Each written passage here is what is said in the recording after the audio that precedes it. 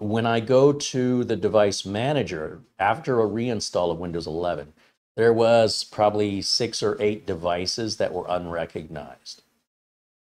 But after installing or downloading and then installing the 3.6 gigs of drivers, I still have two unknown devices that Windows has no idea what they are. And quite honestly, off the top of my head, I have no idea what they are either.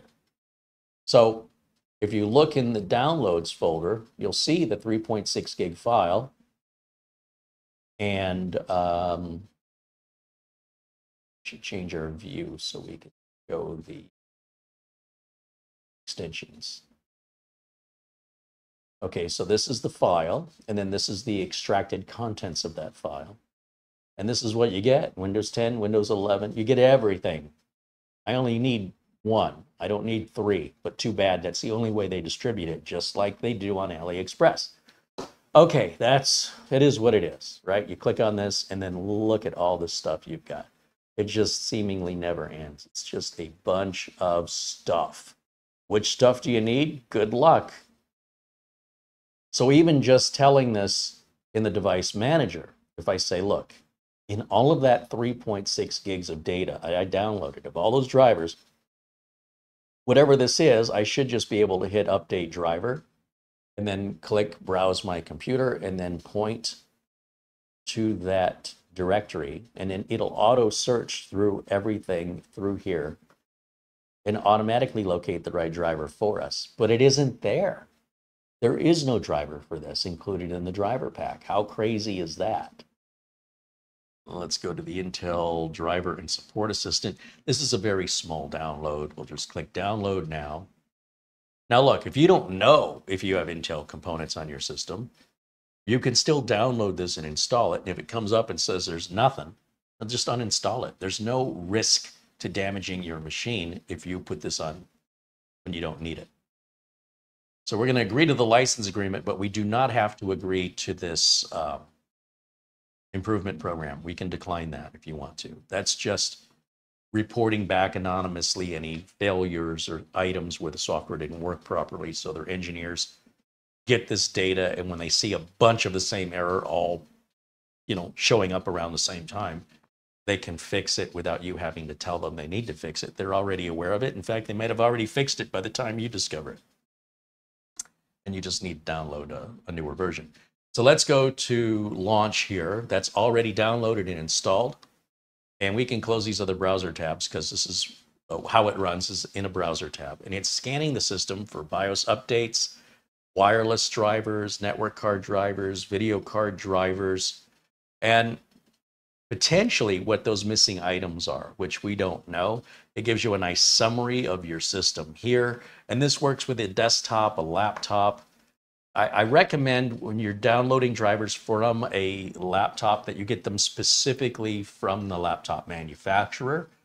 Dell and HP and, and others have their own utilities, which are far superior for their machines.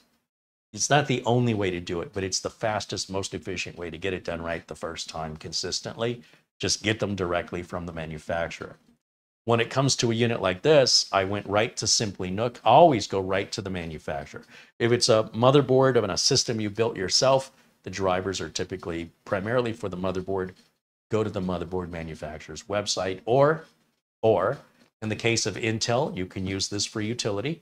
And in the case of AMD, you can use the AMD uh, Adrenalin software, which includes their chipset drivers. Now, the video card driver here is pretty big, but all video card drivers are. My internet connection is pretty small. Unfortunately, whatever those other two PCI devices are still remains a mystery, but we still have other creative and imaginative ways of determining what those are without the need for downloading some third party software that wants to charge you or throw pop ups your way or spy on you in exchange for the free product. The free product means you're the product. And we'll do the reboot.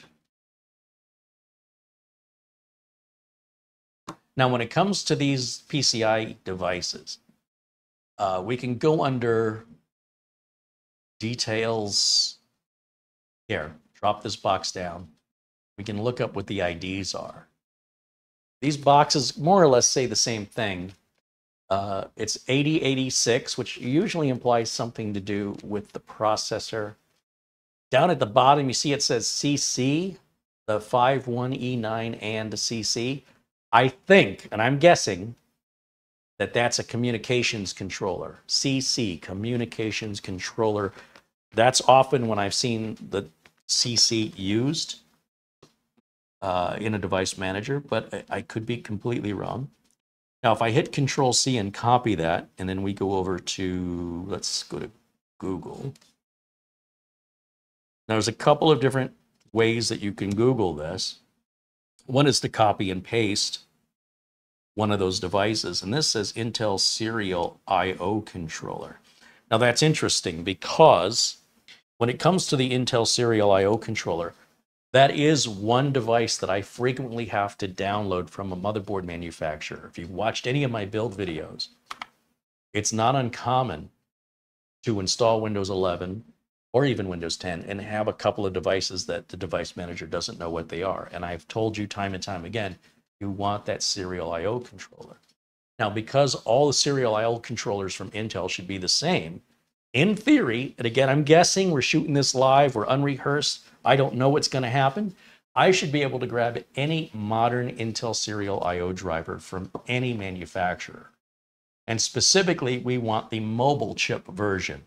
So there's a couple ways we can do this. We can go to another mini PC manufacturer that provides it on a 13900H, or maybe even Dell or HP, even from a laptop, because this is a laptop chip, right? This kind of knowledge is power. It doesn't make you uh, reliant upon some third party manufacturer and potentially infecting your machine with spyware, adware for some free driver software when you just, you, you've got what you need here.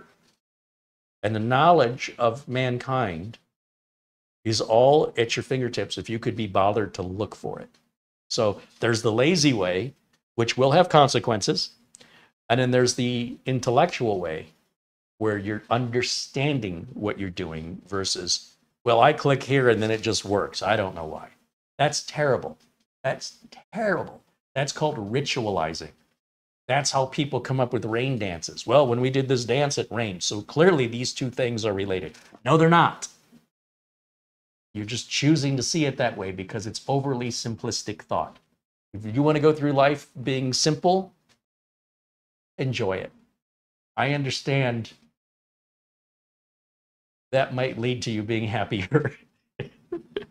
Let the wonder of the world just constantly amaze you.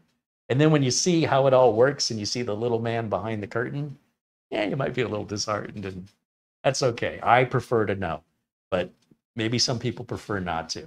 If that's the case, if you prefer not to, you're on the wrong YouTube channel. All right, so what I want to do is find an Intel Serial I.O. driver that is made available from a manufacturer who sells a 13900. Now, we can do this a couple different ways.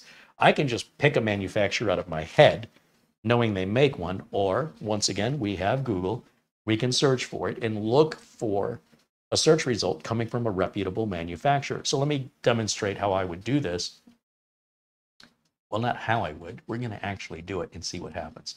So we'll come back over here and we want, oops, box click over here.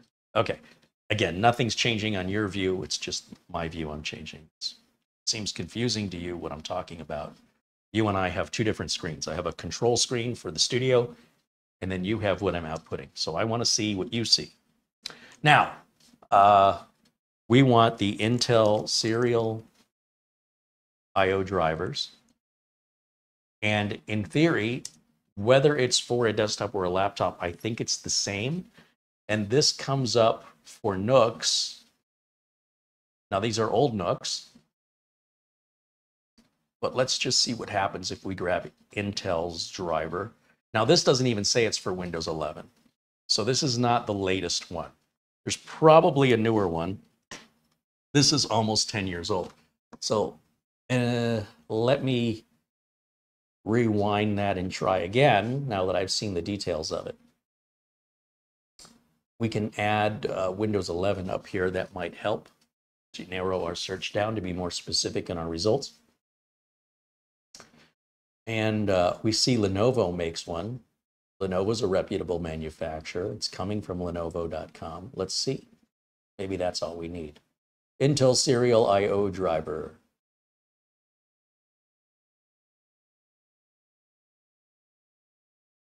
This is from last year. That's acceptable to me. Oh, is it going to make me put a serial number in? Come on now. Still want it anyway. You just get it without having to do that? Yeah, that worked. Now, rid of this box so I can read it. We'll go back to our down. You know what? Let's just close it. Close this. Let's close this. Let's go back to our downloads directory. And we're going to click on this one right here. That's what we just downloaded.